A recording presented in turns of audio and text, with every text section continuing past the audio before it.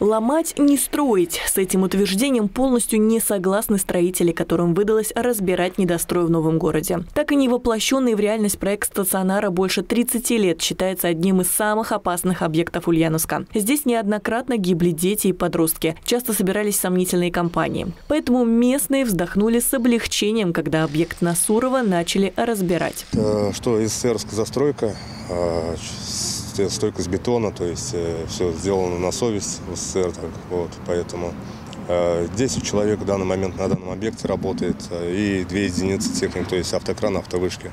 Десятиэтажный недострой – здание специфическое, как говорят сами подрядчики. Чтобы снять бетонные плиты с верхних этажей, пришлось задействовать кран грузоподъемностью 100 тонн. Примерные сроки завершения демонтажа – конец зимы. Сам земельный участок продан Ульяновской строительной компании. Планируется, что на месте позже построят ЖК. Губернатор поручил разработать несколько вариантов проекта, включая детские площадки, парковки и прогулочные зоны. У нас целый градостроительный совет создан как раз для рассмотрения таких масштабных проектов чтобы все было сбалансировано, сбалансировано, чтобы людям было удобно и комфортно жить.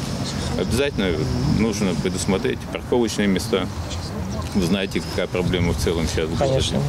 А вот от недостроя на Облукова практически не осталось и следа. Металлические конструкции сняты с крыши, разобраны элементы стен. Сейчас подрядчики вывозят строительный лом на специальную площадку. Всего демонтировали и вывезли 2000 тонн металлоконструкций и 3500 кубов железобетона. Демонтаж всегда сложнее, чем монтаж.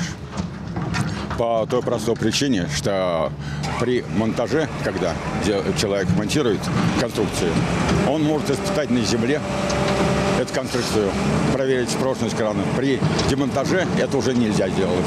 В целом в Ульяновске мэрия насчитала 86 недостроев. По ним составлены дорожные карты, а специалисты ведут переговоры с собственниками. С теми, кто не заинтересован в завершении строительства или поиска путей решения проблемы, будут решать вопрос через суд. Анна Тищенко, Улправда ТВ.